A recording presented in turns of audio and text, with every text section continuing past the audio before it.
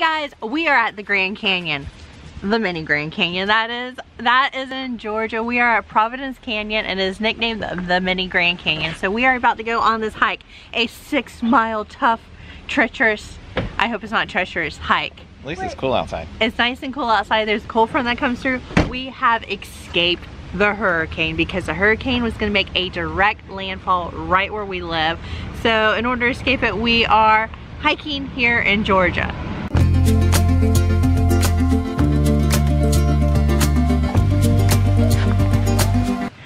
Think that is gonna be a little slippery because this looks pretty cool right here. I wondered why there was a thing that said like clean off your shoes before entering the museum. I think I know why now.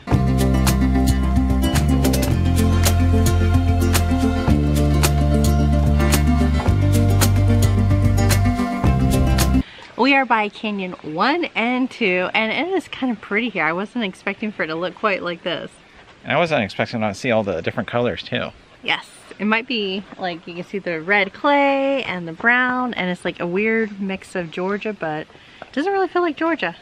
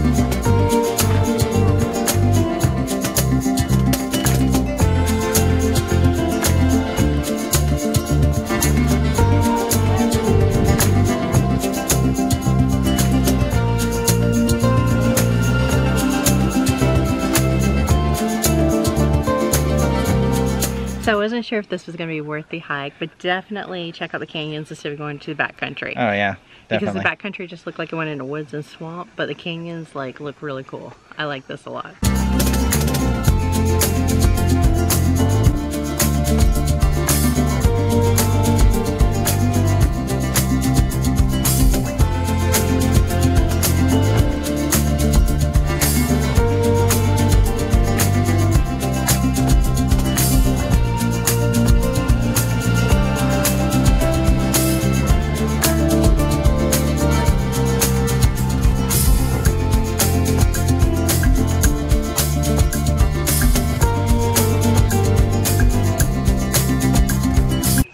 So we are on top of Providence Canyon and look at this overlook of it. Isn't it so pretty?